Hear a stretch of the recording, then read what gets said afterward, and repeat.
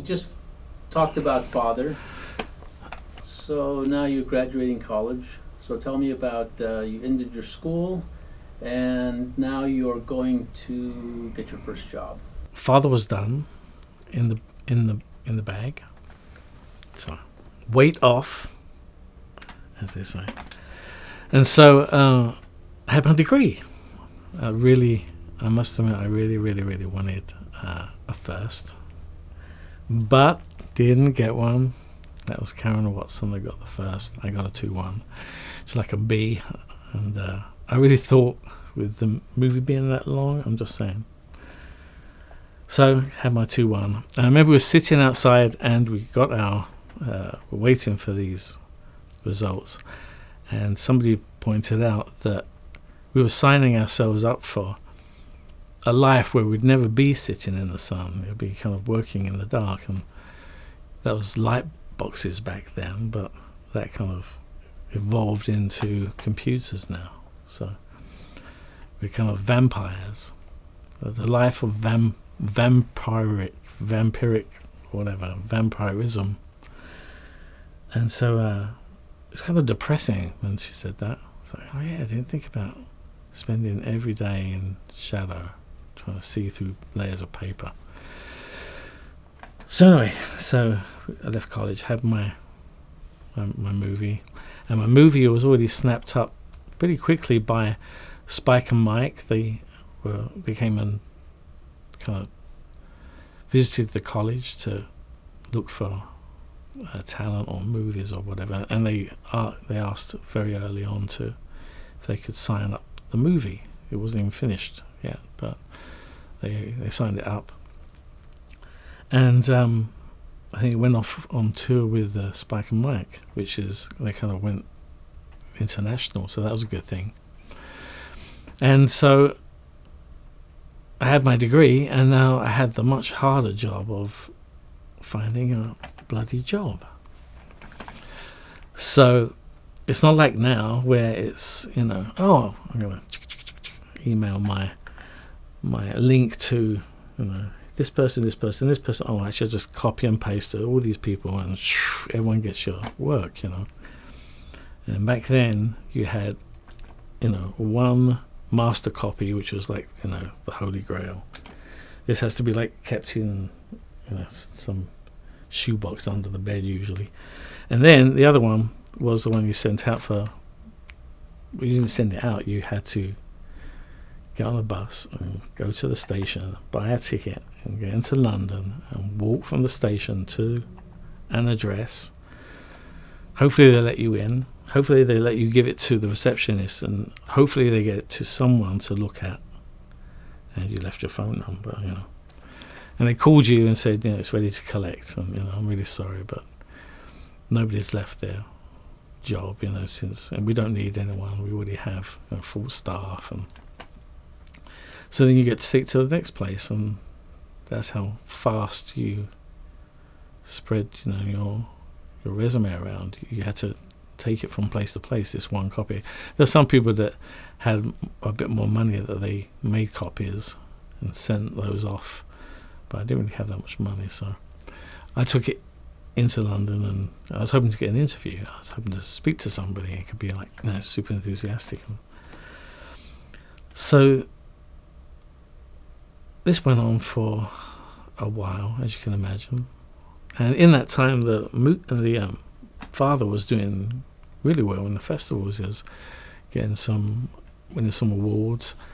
Uh, it was uh, awarded in Annecy and uh, Stuttgart Film Festival and Ghent in Belgium and the Los Angeles Animation Celebration and uh, Chicago Film Festival. And so was like, wow, it's like the movie's doing really well. And BBC were interested in showing it.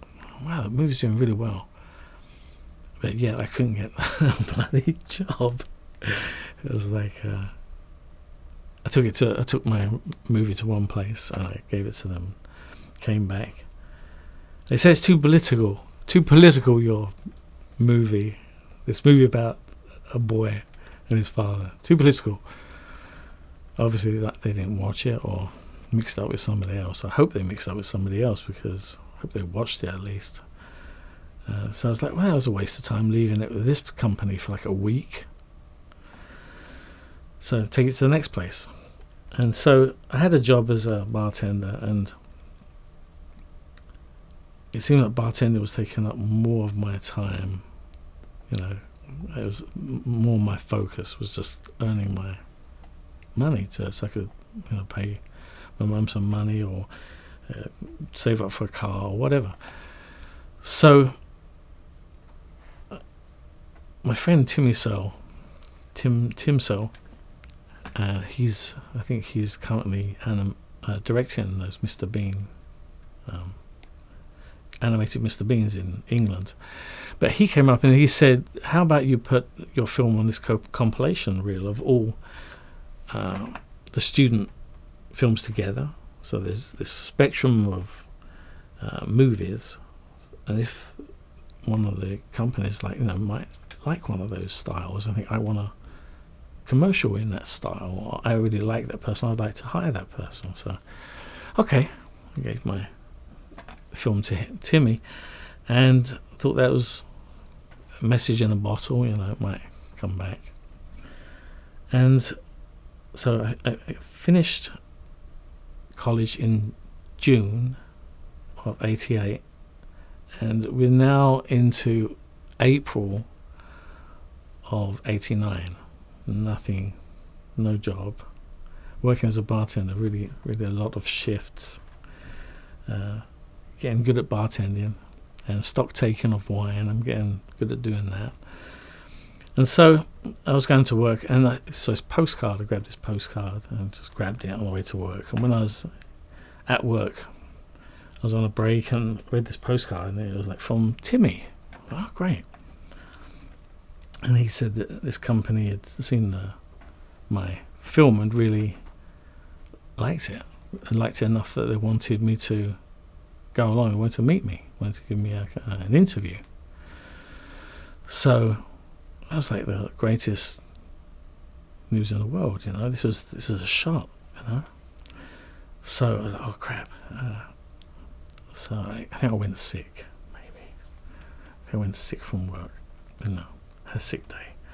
Went up to London and took my reel and took my portfolio and it went to this really cool, uh, quaint, old, cobbled streets area of London. You know, near um, St Martin's Lane and uh, Leicester Square, and uh, went into this old building and into the caged elevator you know, as it goes up, and you can see, you know, out the case, all the stairs going past. And uh, this is an amazing place. And it was right next to the theatre district of London, the West End, right next door to it. This is a great place to work. And uh, met the guys, and uh, it was mainly Tony Cattaneo and Richard Olive, and had a chat with them and they really liked the movie. They liked it enough that they said, "We want to show uh, Ron, but you know, how do you feel about working here?" I was like, "Oh, yes, of course, you know, that's why I'm here. I would come for the interview. I didn't want to work here." So I didn't know what the hell they did, but you know, it was a job. And uh, it turned out that they animated the Tetley Tea Bag commercials, which I was really familiar with, and the Ribena commercials that I was really familiar with. And uh, they're like, "So can you start now?" I'm like, "Okay." they called my work. Oh, I won't be coming back today or ever. I'm going to dock your pay. Okay. You know, I had my pay docked, but I was an animator. You know, I was a fully fledged animator. It was April 18th, 1989. Tell me the part about the um, when they watched the the movie with you there. Oh, what it was like? Well, it's a long movie, so ten minutes, and it's a bit of a heart wrencher. If anyone's seen it, uh, it's a bit of a heart wrencher. So, and, and I'm watching it all the time, knowing they're scrutinizing it, and it's all my work. Like you know, it was like standing in front of them with my pants around my ankles. You know, it, it felt like that. It was like oh god, and ten minutes long. So, so and I watched it all. I got to the end, and uh, it's all quiet. And then uh, Richard Ollis said he really loved it, and uh, that was the second time he'd seen it. He'd seen it you know, on the other reel, and uh, ah, this guy, you know, must like it. He's sat through it twice, you know, and uh, it turned out that you know, he was the, uh, the up and coming director at uh, Wyatt Cattaneo, which is where I was at the Wyatt Cattaneo studio, and he said, "Yeah, we'd love to hire you, but we'd like to have to show it to Ron." So I was "Okay, show it to Ron." I never thought that Ron would make me sit through another ten minutes of this movie, uh, sitting there, you know, pants around my ankles again. And this is the big boss. Like, oh, got to the end, and and he liked it. So it's like, whew. and lucky he did because the other guys already put given me a, a desk, you know. and uh, yeah, that's when I started uh, my first job in traditional animation.